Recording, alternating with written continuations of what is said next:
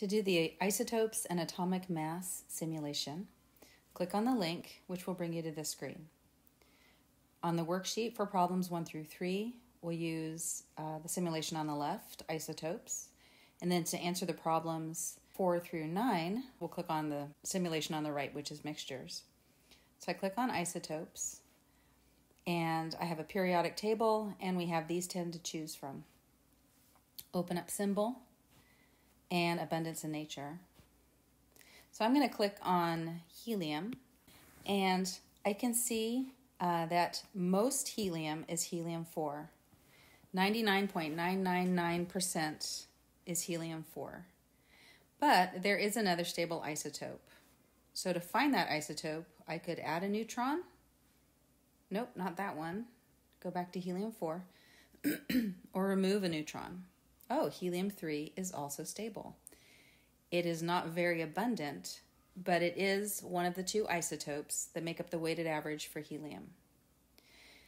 This isotope, helium 4, is called helium 4 because there are four nuclear particles. The mass number is 4 because there are four nuclear particles. But on this balance, I can click from mass number to atomic mass and come up with a value that is an actual mass. So mass number is not a mass, it's a counting number of the number of nuclear particles, the number of protons plus neutrons. Atomic mass is the mass of an atom. Typically in our class, we measure masses in grams. But for measuring very small masses, it makes sense to have a very small unit. And so AMU stands for atomic mass unit. One atomic mass unit is, to 3 sig figs, 1.66 times 10 to the negative 24 grams. It's very small. So, two protons, two neutrons, and two electrons give this atom an atomic mass of 4.00260 AMU.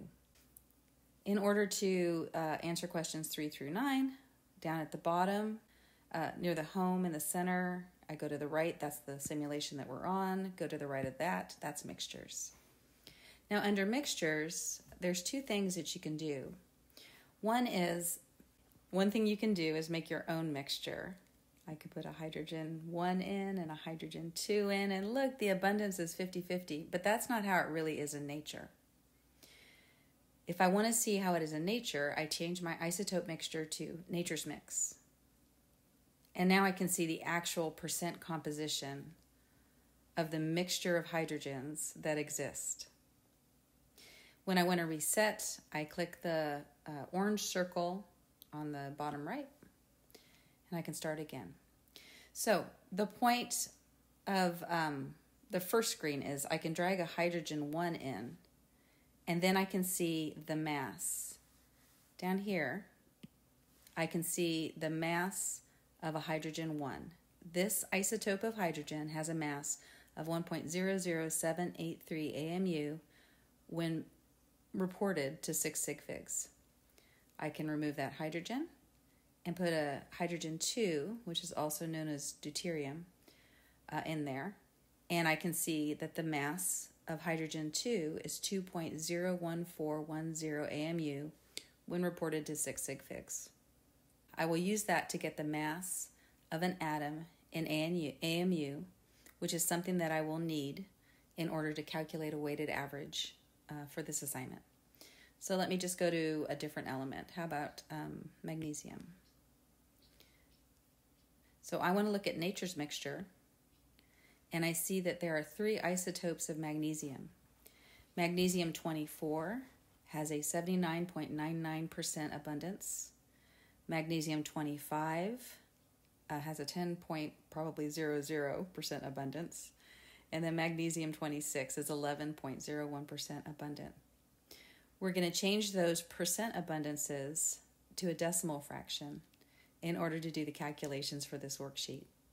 So for magnesium 24, 78.99% could be changed from a percent to a decimal fraction, and it would be 0.7899. Down here under average atomic mass, I can see with the percent abundance and the mass of each of those isotopes what the weighted average is. But the weighted average here is reported to 7 sig figs.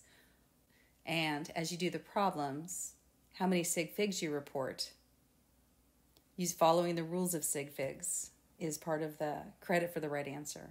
In order to do the problems, I'm going to need to know what the mass of each isotope is. So I go to my mix, I put in one magnesium 24, and I see that the mass of that particular isotope is 23.98504 AMU. To find the mass of magnesium 25, I just put one in that um, screen and see 24.98584 AMU. Magnesium 26, 25.98259. So to find the mass of an isotope, I use isotopic mixture, my mix, and I put them in one at a time. To find the abundance, I click on Nature's Mix, and now I can see down here at percent composition what percentage I'm going to turn into a decimal fraction in order to do my calculations. I hope you enjoy this PhET.